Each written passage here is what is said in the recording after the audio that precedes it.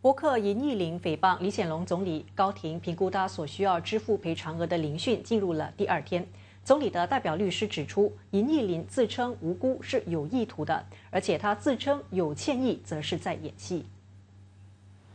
尹义林接受总理代表律师的盘问时说，他无意诽谤总理，他只是关心政府如何管理新加坡人的公积金储蓄，但是他表示不相信总理会挪用公积金。他也表示，在写博文的时候，并不知道挪用公款的法律定义。不过，总理的代表律师文达兴表示，尹义林复制亚洲新闻台关于城市丰收教会审讯的图表，并把创办人康熙的照片换成李总理，这证明他有意诽谤总理。文达兴也说，尹义林自称有歉意是在演戏。尹义林是以能够对公积金课题引起轰动，并增加点看率的方式写博客博文。为期三天的聆讯预计明天结束。